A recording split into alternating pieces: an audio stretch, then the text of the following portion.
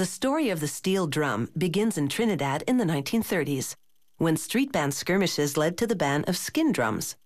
So people improvised and made drums from thick bamboo poles, car parts, tins, and finally oil barrels. They came up with a whole new sound without skipping a beat.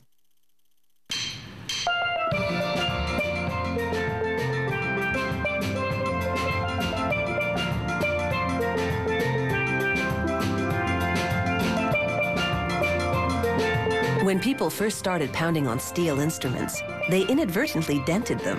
That's how they discovered that each dent produced a different pitch. So now steel drums are dented on purpose. To make a drum head, they cut a piece of steel into a circle.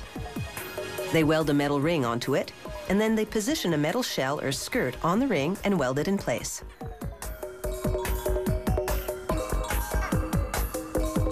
The drum is held in a big clamp, while a worker pinpoints the drum head's exact center.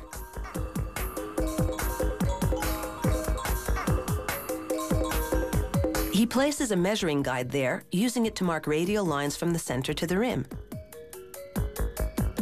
Each line is 10 degrees apart.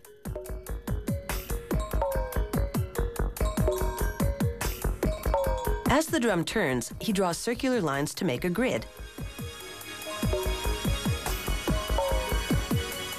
Now he pounds the head of the drum with a pneumatic hammer, using the grid as a guide to ensure the work is done evenly. It takes eight hours of hammering to transform the drum into a bowl-like shape. This is called sinking the drum. Then, with a special guide for curved surfaces, a technician measures out another grid inside the bowled drum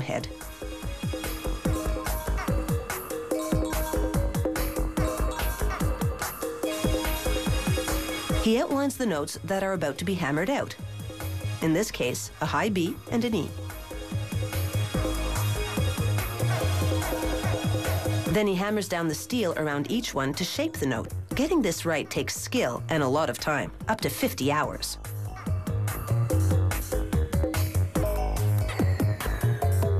He trims the drum skirt to the correct length and tapes a stencil of the company logo onto the skirt.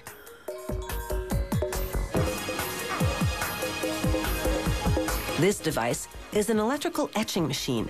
It uses acid and electrical current to eat away the steel exposed through the stencil.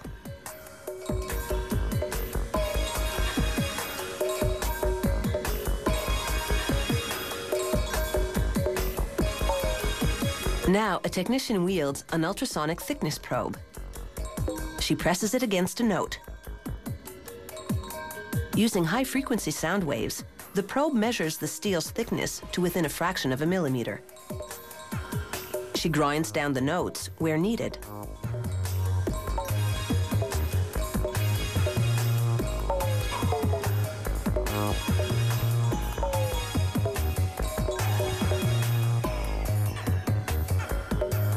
Using a scribing tool, she scratches a line around each note so it'll be visible to the player.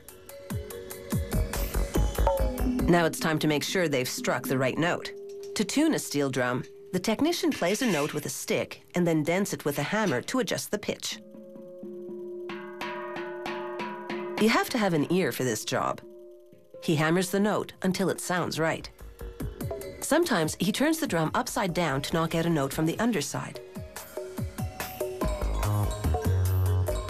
For the fine tuning, he relies on an electronic tuner. A microphone delivers the sound to it, and the lines on the screen tell him if the note is in tune or not.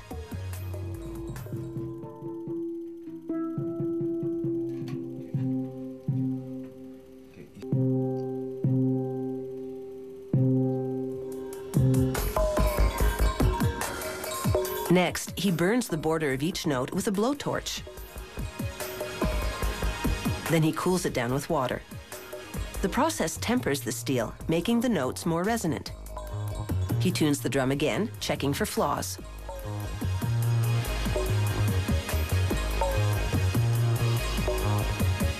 After the drum is chrome-plated, he tunes it a final time.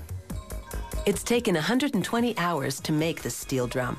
Now it's time to take a break and party to the steel band sound.